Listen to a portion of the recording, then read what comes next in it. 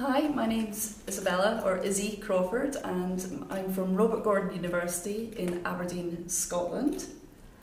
My name's Stephanie Schwartz. I'm uh, originally American, but I teach at a German university, Mainz University of Applied Sciences.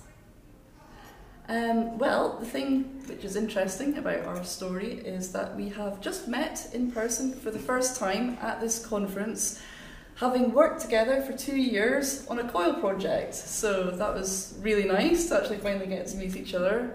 But there are another two members of our team who aren't here um, Bellum from Portugal and Susan, who's our USA partner.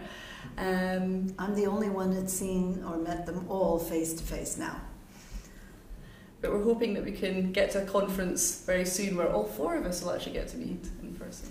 Uh, tip, small tip that we have that we can just uh, impart on all those uh, interested in doing coil.